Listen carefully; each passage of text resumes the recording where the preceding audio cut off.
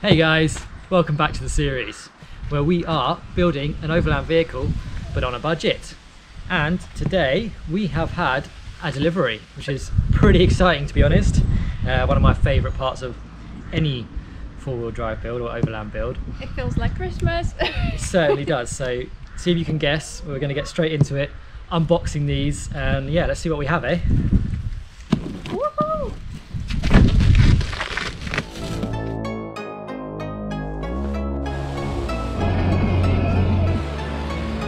Filthy animal. Grinding, grinding, grinding. To the left, to the left. Woohoo! You think it's like summer or something? Just perfect. On. This series is sponsored by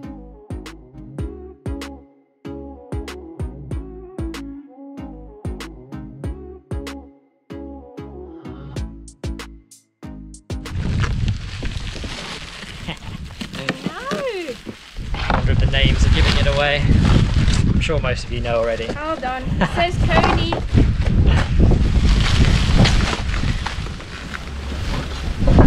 We have a coil spring. Whoa. Not that fast. Even chickens came to see. So a big thank you to Euro 4x4 Parts for sending all this out. I Oh, you finally got one out. Yeah, taking a while. So this has literally got to be one of my favourite parts of any overland build, setting up the suspension. Oh, I don't know why I just really enjoy this part of the process. You know, getting things sort of set up right. Uh, it feels so much better when you're off road and on the road. To be fair, like um, and you know just making the car that much more comfortable and capable, all in all. So yeah, here we are. We have our suspension, and um, you know I'm going to break down all the costings involved with this part of the build. So you know, stick around to the end where we'll go through in detail. You know what everything costs. Also, guys, do let us know what's your favourite part about Overland build. Yes, is it the suspension like us, or is it you know setting up your wheels and tires, doing Yeah. servicing and maintenance of the vehicle, Everyone's- whatever it is, the overland gear? I don't know. Let us know. Exactly, everyone's different and everyone likes different things. Um, also, do give us a like um, and subscribe if you're not already. It really does help our channel, and It thank you so much for your continued support. We really do appreciate it. So let me outline exactly what we have here and what we've chosen. Um, big thank you to Euro 4x4 Parts for sending all this gear out from France. Um, it arrived really quick and everything, so yeah, yeah. it was quick. It was really speedy was. delivery. Impressed. I got some nice little gifts too, so I can see I got my keychain. Check out my rapper skills. If you hadn't guessed already. but yes, thank you. And um, right, so what do we have here? Well, the main thing, as um, you might have noticed in some of the previous videos, is we were suffering with the standard suspension was the sag on the rear. Now that we've added all that extra weight and things, so we really need to get some sort of lift, especially in the back, and uh, you know something more heavy duty to cope with that weight when we do eventually get into the rough stuff. So I'm going to start off by showing you these. These are a King spring, so you know King's Australia. Uh, these are a heavy duty 50 millimeter lift, and they are a plus 200 kilogram load rating. So you can go for more. You can go for like 350 or 450. That's getting sort of too heavy then because you know if you haven't if you're not fully loaded then you can start getting a bit too hard on the suspension, a bit uncomfortable. So I think 200 kilos is going to be a good all round you know to, to use this vehicle so it's not particularly heavy but it's got probably a steady at least you know 200 to 250 kilograms um, constant weight when we're loaded up ready for a trip. These are the front springs. So you know, on these cars, it's a, a coilover type, so they, they sit over, well, front strut, so they sit over the actual shock itself. 50 millimeter lift also. Uh, standard um, standard weight rating because uh, those at the front there's no there's not a lot of extra weight at the front uh, we're not running heavy winch bumpers and winches and things like that so it's okay with the standard weight um, but plus 200 kilos in the rear our shocks that we've gone for we've gone for Koni Koni's a recognized brand and these were available at the time at a reasonable price which we'll get into later so stay tuned um, front shock and rear shocks. Um, they allow up to a 60 millimeter lift, and we've got a 50 millimeter lift, so they're going to be pretty much spot on. You know, uh, big bore, heavy duty shock. So this combination of gear, what with the King springs and the Koni shocks, I was recommended by somebody at Euro 4x4 who reckons this will be a, a decent setup. Mm. Everything was available off the shelf, which was fantastic because it's actually quite hard to get parts at the moment. Mm. You probably noticed there's a lot, there's a, a big um, shortage in parts, and there's a long waiting list for most things. So Global. all this being readily available, quality shocks, quality springs at a you know reasonable price point in the range, which of course we'll get into later. I can't wait. It's so exciting actually. It's like seeing all these things here on on the table and just soon they're all, all right? gonna be in there and I can't wait the transformation. Anyway, enough talking. Time to actually get this stuff on, and of course we're going to be doing it ourselves because you know we're going to save money that way, being the budget overland build. Uh, we've, we've purchased the items, but we're actually going to get to it and fit all this stuff together. Yeah, exactly. I love it. It's actually I really Or is it going to be mostly me? Well, no, it's me actually doing all the work and Jack's pretending. So this is how it rolls. We'll see how we go.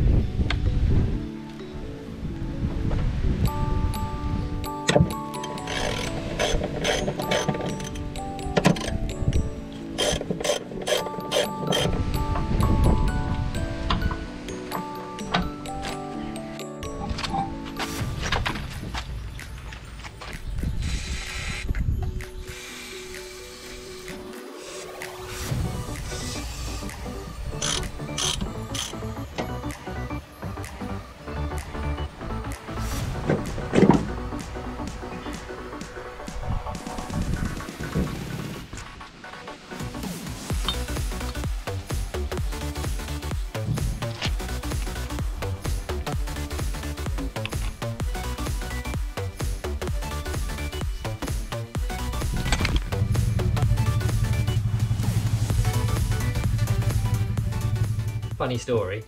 Well, not so funny. It's about three days later now.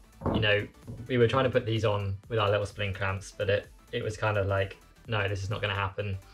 And it didn't feel right. It was scary as hell. So I decided to head down to town, get someone to press these on, which we thought would be the easy option.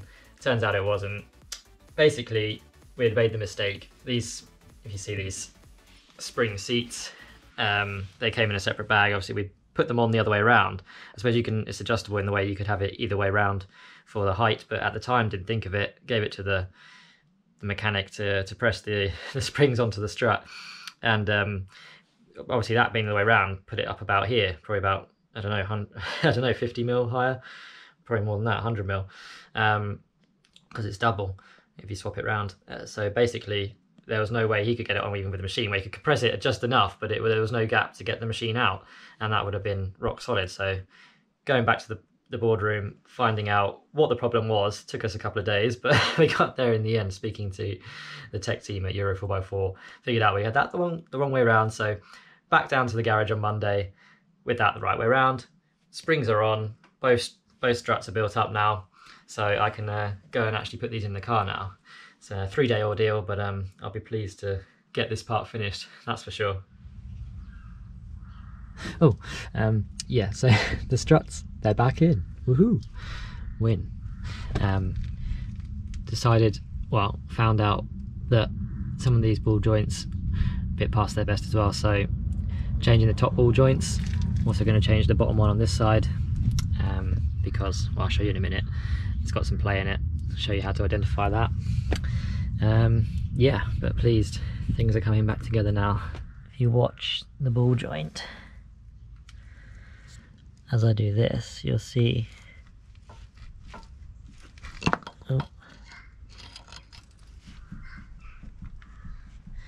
See that movement?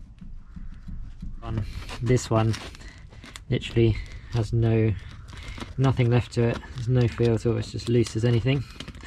Um, and yeah, when that was on there, you could see that had play in it too. So that's gone a new ones going on. Yeah, so we'll have to update the cost of the servicing and maintenance parts because we've added a few more things to that, the ball joints being one. And also, I will let you know now, these calipers, although in the in an earlier video where we were changing the pads and the, on the rear and, and, we decided with the fronts that um, they weren't too bad. Um, with these they look alright but actually the pistons in them because I got them out and uh, played about with them cleaned up the sliders but the pistons are just a bit sticky so they're obviously getting a bit rusty on the inside of the of the pistons inside these are the twin piston calipers so if you have a look over here I have bought two new calipers. These were surprisingly affordable um, at 70 something pound for the pair. So yeah you can rebuild the originals but the amount of time and things it would take and the way we need to get on with this project now uh, I've gone for the replacement. So one in here. Well another box. You'll believe me. There's two calipers to go on new uh, ball joint is here the lower ball joint and get that on. It took the whole shaft out as we were already there rather than splitting the hub. Um, and we can just put it on and slide the new ball joint in. Once again, it's the next day. Turns out not everything goes so smoothly, right? Let me explain. Everything we had trouble with yesterday in the end was caused by this. This is the inner spring clip or or holds the for the diff seal um, basically holds the rubber seal to shape. But basically it wasn't feasible to get that back in on the inside of the seal without potentially dropping that in the diff and it just wasn't really happening because you can't get it you know stretched out enough to get it back in on the back. It's just impossible really. Well I think it is anyway. So new diff seal better safe than sorry. Wouldn't want it to leak and then have to take everything apart again would we but essentially all the suspension is on the car now so that part is done. Just got a few things like to change these front calipers left to do and things which will happen next week when that diff seal arrives. But yes there was also the added bonus that we had to fix this this lovely Land Rover here. Um, let me show you the damage report. It was a well destroyed CV um, on the front axle. So whip that out. New one went in. So it's not just Mitsubishi's we work on as everybody says. You can see new one in there. Been for a test drive. Works well. So my mate's happy with that. Um, but in the meantime let's get back to the office so I can go through with you the costs of all the suspension setup and we can uh, add up the totals and see where we are in this build. Let's go. So, firstly, let's start with the fact that we um, uncovered a few more things that needed addressing whilst doing uh, the suspension upgrades, which, as you know, are the calipers. We need two new front calipers, uh, the lower ball joint, the top ball joints and the diff seal in the end there. Uh, that actually came to an extra 117.17. Calipers were 17.95 for the pair.